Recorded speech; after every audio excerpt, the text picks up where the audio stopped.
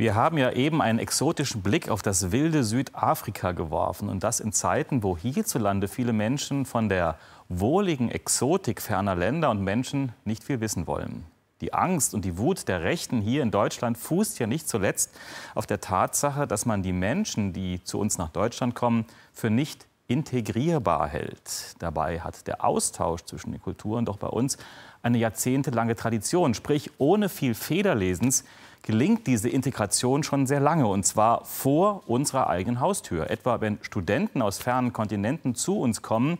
Wir zeigen das jetzt mal an einem Beispiel. Und die junge Frau, um die es da geht, die könnte dabei so oder so ähnlich auch aus Südamerika, aus Sibirien oder dem Mittleren Osten kommen.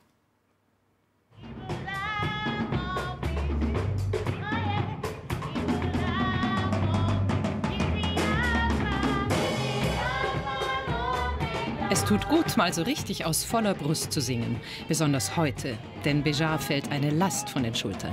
Die Last von sechs strammen Jahren zwischen Studium und Job in einem anfangs fremden Land. Bejar Simeon Nopa, 26 Jahre alt, in ihrer WG-Küche in Sulzbach. Sie ist eine von vielen sogenannten Free-Movern, junge Menschen, die zum Studium nach Deutschland kommen, weil sie eine bessere Perspektive suchen.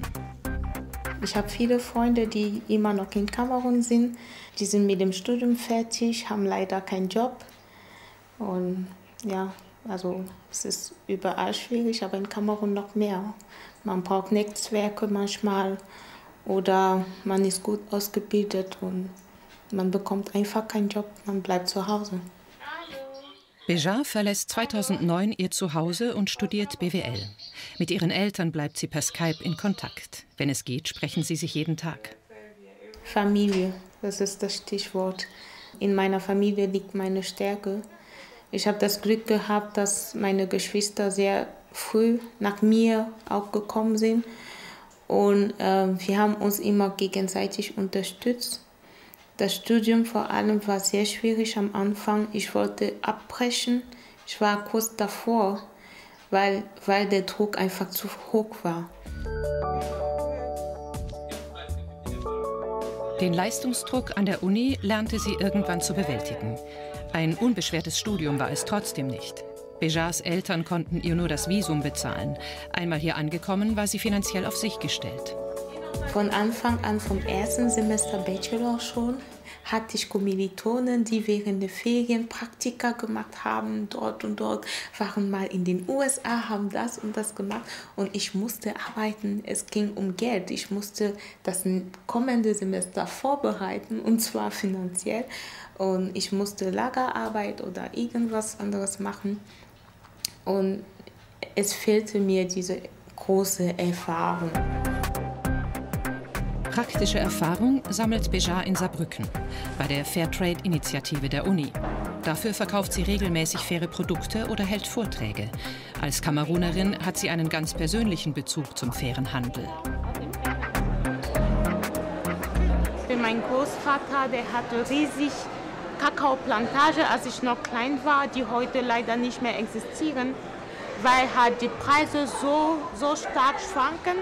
Und wenn es tief ist, wenn die Preise tief sind und die Anbauer sich ein Leben nicht mehr leisten können, dann verlassen sie einfach das Geschäft. Und ich finde das super toll, dass es das Fairtrade einfach mehr Gerechtigkeit bringt. Super, vielen Dank. Schönen Tag noch. Nach dem Studium steht für die Free Mover die nächste große Entscheidung an. Wo wollen sie in Zukunft leben? Bejar hat in Kamerun kein Netzwerk. Sie will erst mal hier bleiben.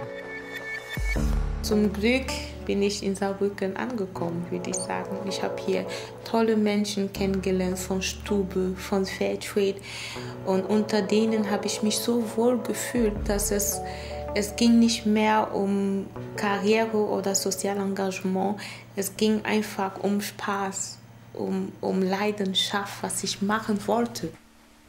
Seitdem sie sich weniger Druck macht, läuft alles wie von selbst. Die Masterarbeit ist abgegeben. Für ihre guten Leistungen bekam sie sogar einen Preis. Und ausgerechnet an Weihnachten wurde ihr größter Traum wahr. Eine Stelle bei einer Saarbrücker IT-Beratungsfirma. Die Eltern waren begeistert. Sie haben getanzt und zwar auf Skype. Es war so lustig. Ja, sie waren super, super stolz. Alles war. Ich habe sofort meine Schwester angerufen. Sie ist immer die Erste, die ich anrufe, egal ob es mir schlecht geht oder auch wenn es mir gut geht. Und sie, wir haben geschrien am Telefon, wir konnten das nicht fassen. Ah, es ist jetzt da, du hast eine Stelle, alles geschafft.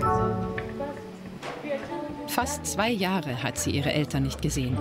Nach der Probezeit will Bejar sie endlich wieder besuchen. Wenn Kamerun mal zu weit weg ist, findet sie Kraft im Chor der afrikanischen Gemeinde und ein Stück zu Hause. Ja.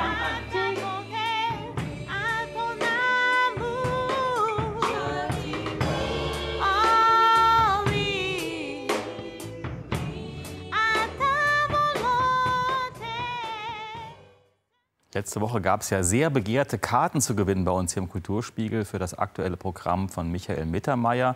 Und hier sind die Gewinner. Marc Weinand bekommt welche, Gisela Schreiner und Dirk Braun. Herzlichen Glückwunsch und viel Spaß. Das war unsere Sendung für heute. Ab jetzt alles im Internet sr.de/slash Kulturspiegel. Da finden Sie Informationen rund um unsere Themen und die ganze Sendung auch noch mal als Videofile. Ihnen einen schönen Abend hier im SR-Fernsehen. Tschüss.